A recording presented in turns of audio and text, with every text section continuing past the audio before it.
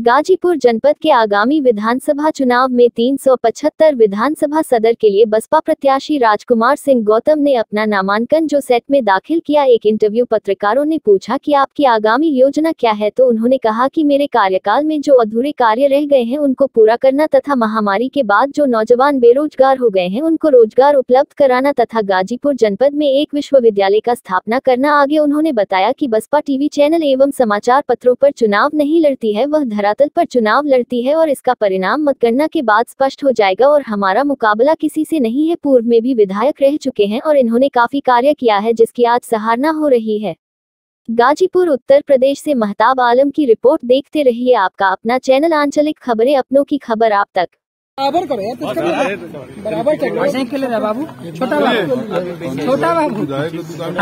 एक मिनट एक मिनट। हाँ। रोल। हाँ। आज आपने नामांकन किया क्या? जी नामांकन किया। किस विधानसभा से? और कितने सीटों में किया है? गाजीपुर 375 से दो सेट में मैंने नामांकन किया। ऐसे में आज आपने नामांकन किया है गाजीपुर सदर सीट से क्या प्राथमिकताएँ रहेंगी आपके चुनाव को लेकर? रुके हुए विकास कार्यों को तुरंत प्रारंभ करना जो इंफ्रास्ट्रक्चर से संबंधित है और कोरोना के बाद जो युवाओं में बेरोजगारी की घोर वो मानसिक उस पर विकलांगता पे भी की तरफ़ अग्रसर है। उस पर विशेष ध्यान देना। नंदगंज की चीनी मिल प्रारंभ कराना, बेरोजगार नौजवानों को रोज़गार का इंतज़ाम कराना या फिर बेरोजगारी भत्ता सरकार से दिलाने की प्राथमिकता है और गाजीपुर में एक विश्वविद्यालय की स्थापना और ये जो नया पूर्वांचल एक्सप्रेसवे बना है, उसके आसपास 200 150 एकड़ में एक औद्योगिक आस्थान नया बना आपके द्वारा नामांकन किया गया है वहीं जो विपक्षी पार्टी यानी सत्तारूढ़ पार्टी है वो उनका सीधा सीधा यह कहना है कि बसपा जो है कहीं से भी लड़ाई में नहीं है।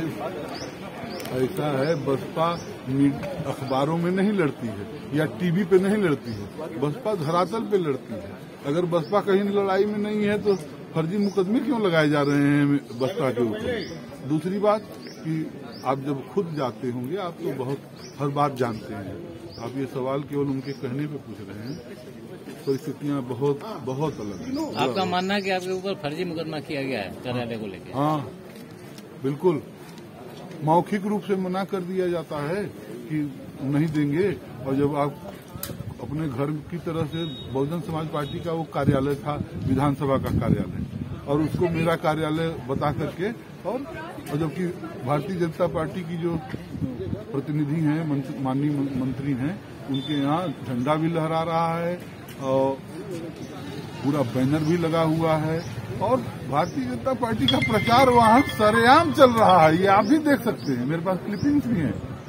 उस पर कोई रोक नहीं है। तो आचार संहिता का जो उल्लंघन का मामला है वो एक हिसाब से फर्जी माना जाए आपके हिसाब से? मैं कह रहा हूँ कि आप खुद फैसला कर लीजिए ना कि एक तरफ़ बैनर लगाया गया है, झंडा लगाया गया है, प्रचार वाहन घूम रहा है भारतीय जनता पार्टी। और दूसरी तरफ़ हम लोगों को अपने विधानसभा स्तर के कार्यालय में भी बैनर लगाने की इजाज़त नहीं। बहुजन समाज पार्टी एक राष्ट्रीय पार्टी।